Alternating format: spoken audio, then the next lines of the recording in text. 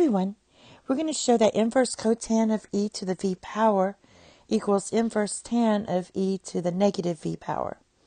So the first thing we're going to do is let theta equal uh, tan inverse of e to the negative v.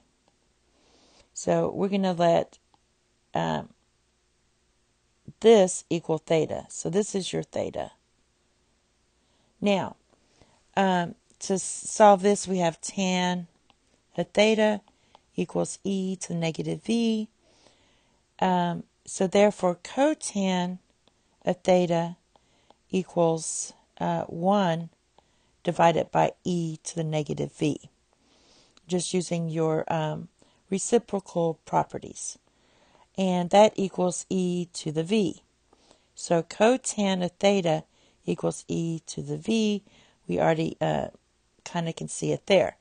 So now we're also, because of e to the negative v has to be positive uh, nature of the exponents, so we're in quadrant um, 1. Our angle is. Theta is. All right. So that means, let's go back to this.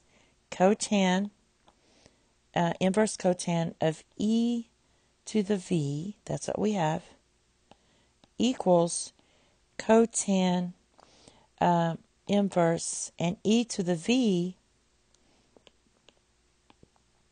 equals cotan of theta. well, when you take the inverse of the function, you just get theta. So then we have theta. We know theta equals this. So theta equals tan inverse of e to the negative 1. So um, we have shown that that equals that. Thank you. Have a nice day. Bye bye.